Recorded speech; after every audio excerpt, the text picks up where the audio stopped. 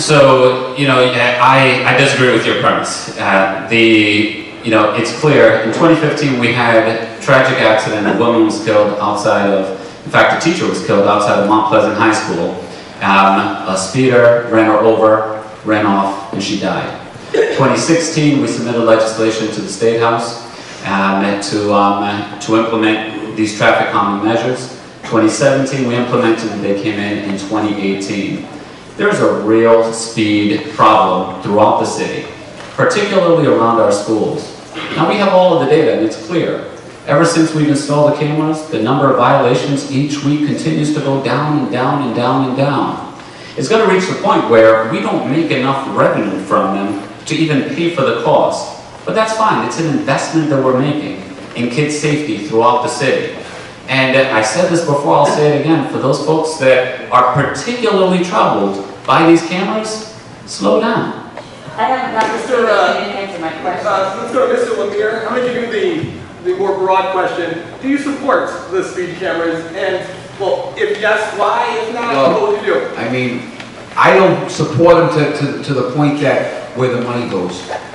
I live near a school, I live on Potters Avenue. I live at the corner of Potters and Eddy Street, and that's when they tell you where the, where the speed camera is. But the speed camera is five more blocks down the street. They put three big signs up, I don't know what it cost, okay? To make everybody happy, because I like the speed cameras, but let's take that money and give it to the school department. Every speed camera in front of that school gets the money. Okay, send that money right back into the school. Okay, we don't need to take that money to, to, to buy red bikes. We don't need to take that money to do anything but what has to go to the schools. Okay, let's, let's get music and art lessons for the kids, okay? That's what the camera should be for, okay?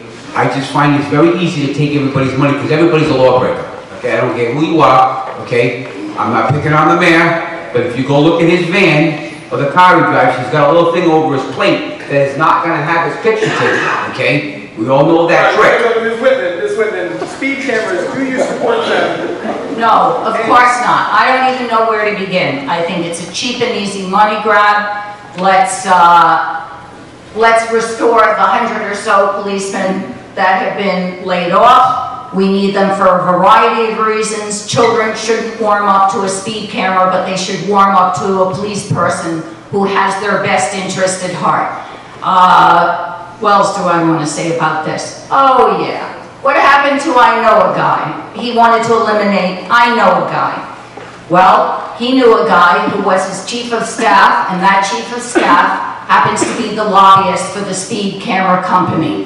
He's making $60,000 a year. I think that's unconscionable that the relationship exists. You know, get it from someone else, certainly not from your former chief of staff.